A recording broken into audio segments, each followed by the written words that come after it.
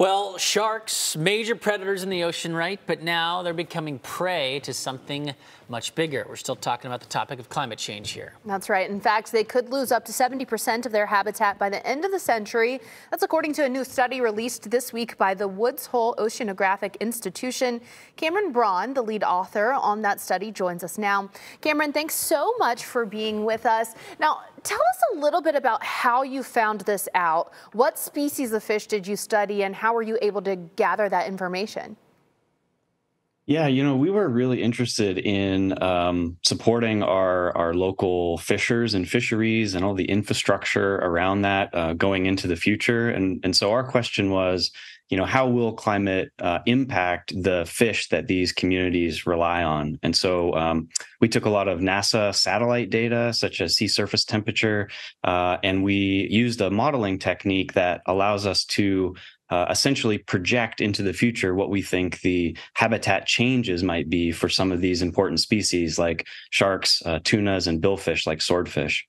And from what you can gather from some of those images that you're gathering, how significant is the loss that we're seeing as of right now? Yeah, as you said at the top, you know the these losses are up to sort of seventy percent by the end of the century. Um, in fact, we're actually seeing some of those changes that are already underway. A good example of that is the bluefin tuna that many people uh, know and love. Uh, by the end of the century, we're expecting that they will shift their habitat as much as uh, about 200 miles to the north of kind of their core distribution uh, that we see now, and we've actually seen that move about uh, a third of the way already. Wow. wow. that is crazy. Yeah. So, what are some of the biggest threat, threats that we're talking about in terms of um, causing this shift and habitat loss? Yeah, I mean the the threat is um, you know from a, a, number of different aspects of the ocean environment. The the easiest, the simplest one, right, is temperature. We're seeing that right now uh, in our ocean today, right? You guys were mentioning how how warm it is out there. Uh, obviously, temperature is a, is a major driver of species and where they are and and where they can and can feed. Um, and so this is temperature is a, a major driver uh, of these changing distributions. You know, you mentioned the bluefin tuna at the end of the century adapting and moving, you know, its habitat. Are we seeing the same thing with sharks? Are they adapting? Are there any species that aren't adapting? Yeah, you know the the the word adaptation is interesting because that's probably the one thing uh, in this story that we just don't have a good handle on. We as the science community don't really understand uh, very well how these animals might adapt, right? How they might um, change how they can live in environments that they currently live in today. Uh, how that might change as we know it by the end of the century. So adaptation is a really tricky thing for mm-hmm. for you know sort of how these animals will deal with these changes.